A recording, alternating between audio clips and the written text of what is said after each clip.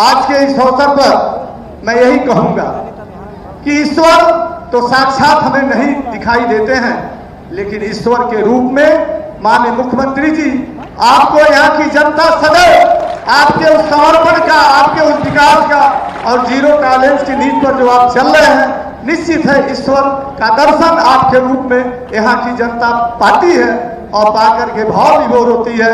आज के इस कार्यक्रम में आपका बहुत बहुत स्वागत, बहुत बहुत अभिनंदन। जय हिंद, जय भारत। सादर धन्यवाद महोदय। मंच पर मंचासीन माननीय सांसद श्री रवि किशन शुक्ल जी से सादर अनुरोध है कि आप अपने उद्बोधन से इस जनमानस में ऊर्जा शक्ति का संवहन करें। माननीय सांसद श्री रवि किशन शुक्ल जी से सादर अनुरोध कि आज विकास कार्यों की इस परियोजना के लोकार्पण शिलान्यास कार्यक्रम में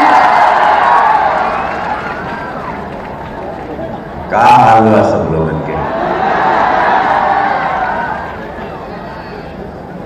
के महाराज जी आयल बड़न और महाराज जी कबो खाली हाथ नहीं आओ। यही ले पूरा देश नहीं, हम विदेश में रहे वहीं दोबारा महाराज जी का चर्चा है। आज महाराज जी यही ना हज़ार छह सौ पैंतीस करोड़ का योजना लेके इतना भाग्य बा हमनी के कि हमनी के महाराज के रूप में मुख्यमंत्री भेटे ना। एगो ऐसा मुख्यमंत्री जे हमारे लड़का बच्चा, गाँव देहात के भविष्य के बारे में सोचता हमारे बिटिया कैसे आगे जाए? कैसे स्मार्ट क्लास में पढ़ी? कैसे जीवन बनी होकर। काल तो इजा सैनिक स्कूल का उद्घाटन महाराज जी द्वारा हुई। उपराष्ट्रपति जी आवतारण महाराज जी का एक मेहनत रहे। महाराज जी के बहुत सारे सपनों में सबसे प्रिय सपना कल पूरा होगा सैनिक विद्यालय। जितना हम महाराज जी के निकट उनके सानिध्य में आशीर्वाद पावत है जितना हम महाराज जी के जा, जाने पाँच छह साल में कि उनके सपने क्या क्या हैं तो ऐसे महाराज जी के चरणों में वंदन अभिनंदन महाराज जी। श्री संदीप सिंह जी, माननीय मंत्री, बेसिक शिक्षा, एजुकेटेड, एक बहुत बढ़िया हमने के मंत्री जी पटेल बड़न जे बच्चों के लिए खुद स्वयं इतने एजुकेटेड हैं और बच्चों के लिए बहुत कुछ सोचते हैं और उनके एजुकेशन के बारे में हमेशा तत्पर रहते हैं। महाराज जी की भूजा की तरह उनका स्वागत है। डॉक्टर मंगलेश कुमार श्रीवास्तव जी, महापौर, आपके स्वागत डॉक्टर धर्मेंद्र सिंह जी, माननीय सदस्य विधान परिषद, आपके स्वागत बा और अभी आपके लोकप्रिय विधायक जी, जो अपनी बातों को विस्तार में रख दिए। इतना कुल बोल गई ना कि अब हमारे पास बोले खातिर विधायक जी। विधायक जी, अरे विधायक जी।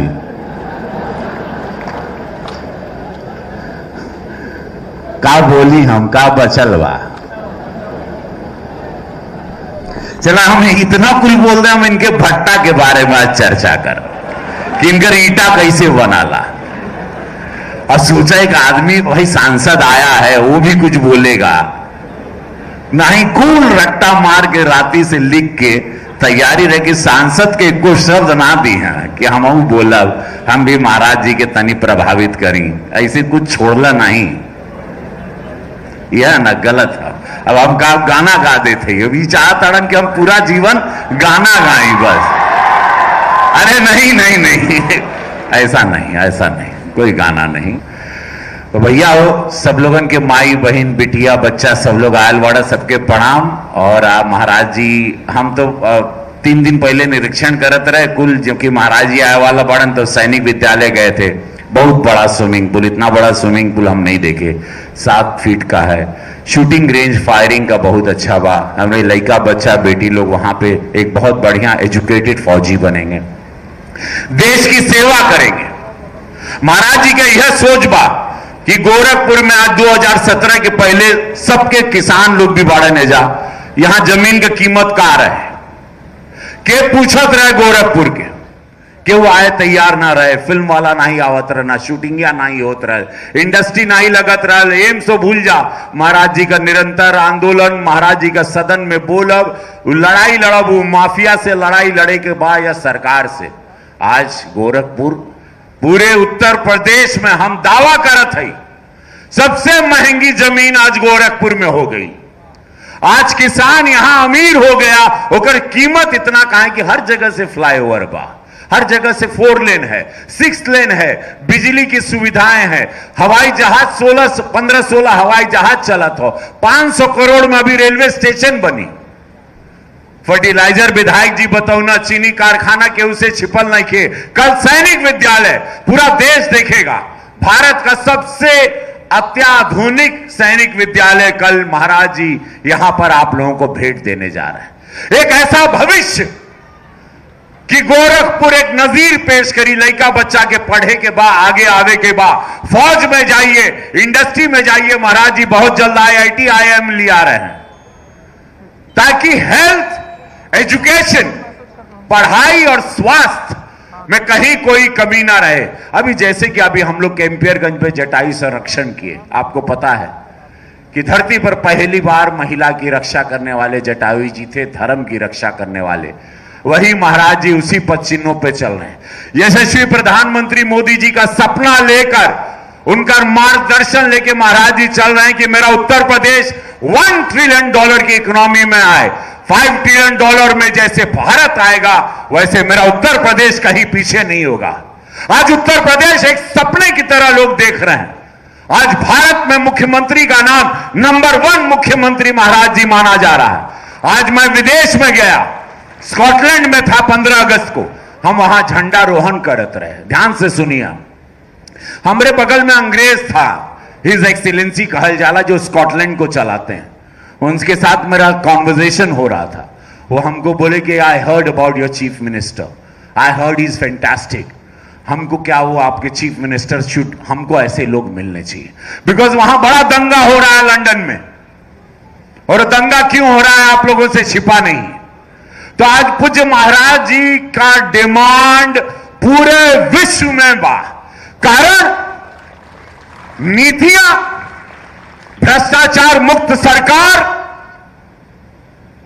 ज़ीरो टॉलरेंस, बुलडोजर अगर माफिया है, अगर अत्याचारी है, दुराचारी है, उसके लिए बुलडोजर।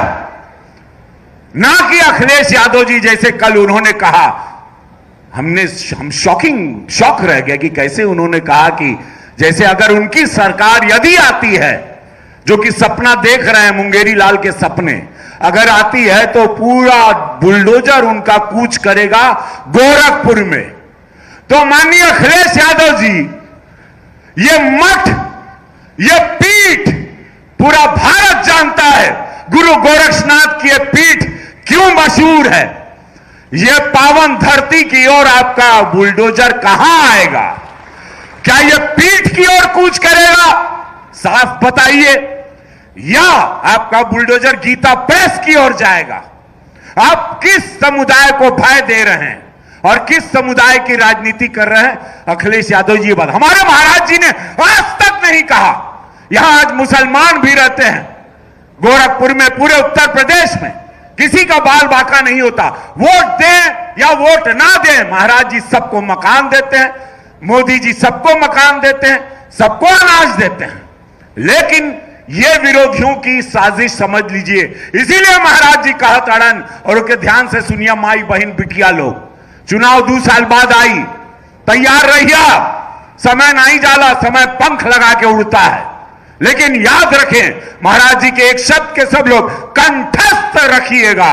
जब कहना, आज पूरा देश का युवा चिंतन कर रहा। आज देश का हर हिंदू समाज चिंतन करे लगल। जैसे महाराज जी अचानक कभी बोलते हैं, क्योंकि अंतर्यामी है, उनके मालूम पड़ा ला कि आने वाला समय क्या होगा।